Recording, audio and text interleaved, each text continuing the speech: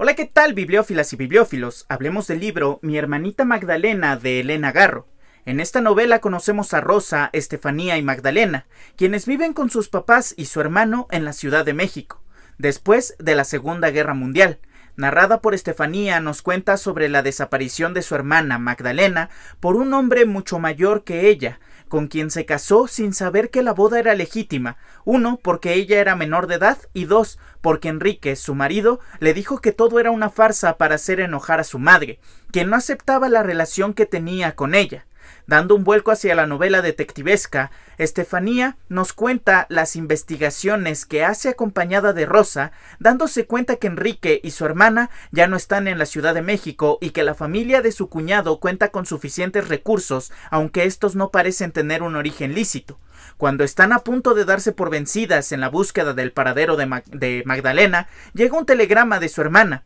para así dar un nuevo giro a la trama, saltando de las calles oscuras y peligrosas de la Ciudad de México al París post Segunda Guerra Mundial y en conflicto con Argelia, donde Estefanía nos narra sobre las desventuras en los primeros días que viven las dos jóvenes mexicanas, siendo involucradas por los amigos de Enrique con personas igual o peores que las que habían visto en la Ciudad de México, con una novela en la que nos muestra que en ocasiones los esposos en lugar de sumar estorban, Elena Garro nos da muestra de la libertad femenina y de la revolución ideológica que ya se gestaba en Europa en esos años. Sin duda, una obra llena de tintes autobiográficos y de análisis y reflexión sobre las clases sociales, la sociedad y el matrimonio en los años en los que todos los autores querían vivir en París y sentir la verdadera vida bohemia.